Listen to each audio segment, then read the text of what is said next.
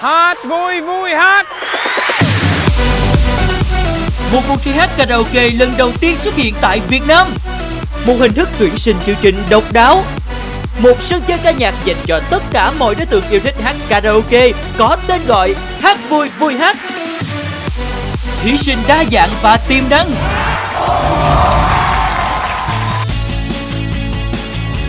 MC tươi vui, lôi cuốn.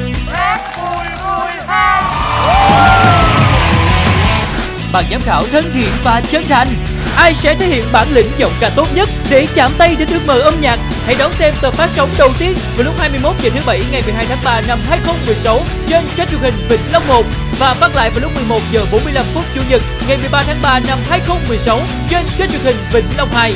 Hát để vui, vui để hát, hát vui vui hát, gắn kết niềm vui.